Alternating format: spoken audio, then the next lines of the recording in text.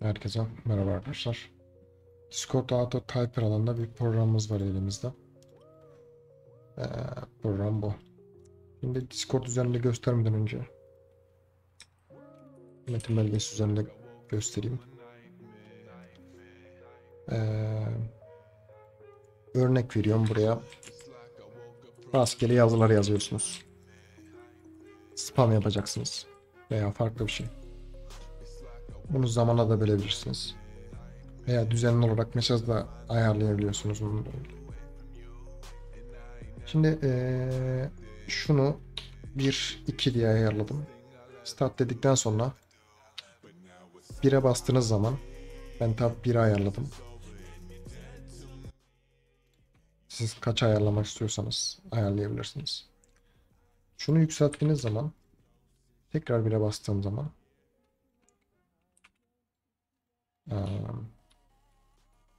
şöyle göstereyim. Ya bu e, başlandığı şey misal 3 yazarsanız 3'e ne koyalım?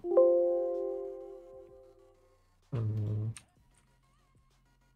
Bir şey yazalım. Random şeyler yazıp koyar buraya. Mesela şöyle ayarlayalım. Şunu misal 100 yapalım.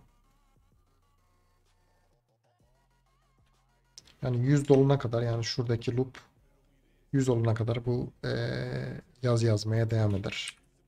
Şunu 100 yaptığınız zaman. Tekrar deneyelim.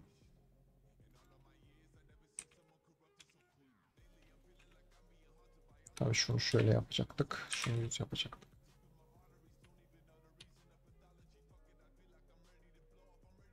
Yanlış oldu. Tam tersi olacak. Evet. Şu 100 olana kadar eee mesaj yazmaya devam eder.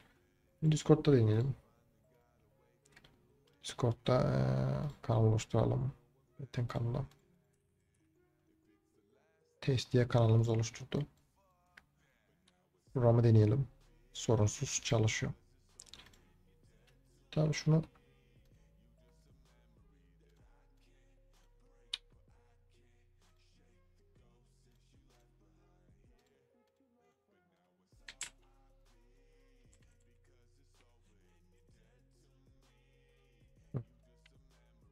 Gördüğünüz gibi bu şekilde spam yapabilirsiniz. Program bu şekilde çalışıyor.